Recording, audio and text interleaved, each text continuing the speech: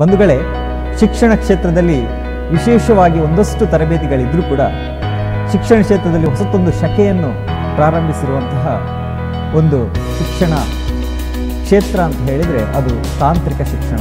ಆ ತಾಂತ್ರಿಕ ಶಿಕ್ಷಣದಲ್ಲಿ ವಿಶೇಷವಾಗಿ ಒಂದಷ್ಟು ಸಾವಿರಾರು ವಿದ್ಯಾರ್ಥಿಗಳಿಗೆ ಶಿಕ್ಷಣವನ್ನು ನೀಡಿ, ಇಂದಿಗೆ ವಿಶೇಷವಾದಂಥ ಘನತೆಯನ್ನು ಹೊಂದಿರುವಂಥ ಕೈಗಾರಿಕಾ ತರಬೇತಿ ಕೇಂದ್ರ, ಆತ್ಮಾನಂದ ಸರಸ್ವತಿ ಕೈಗಾರಿಕಾ ತರಬೇತಿ ಕೇಂದ್ರ ಬಿಲ್ಲಾಗಿ.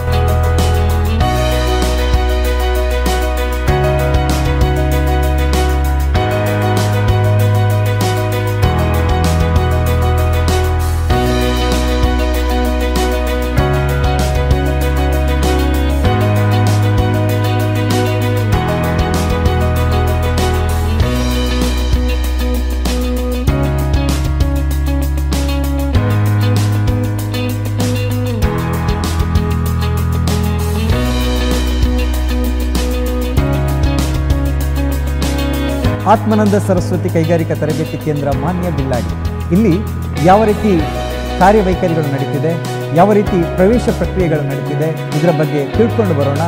ವೀಕ್ಷಿಸಿ ಭಾನುವಾರ ರಾತ್ರಿ ಎಂಟು ಗಂಟೆಗೆ ನಿಮ್ಮ ನೆಚ್ಚಿನ ಸಾಯಿಸುವ ಟಿವಿಯಲ್ಲಿ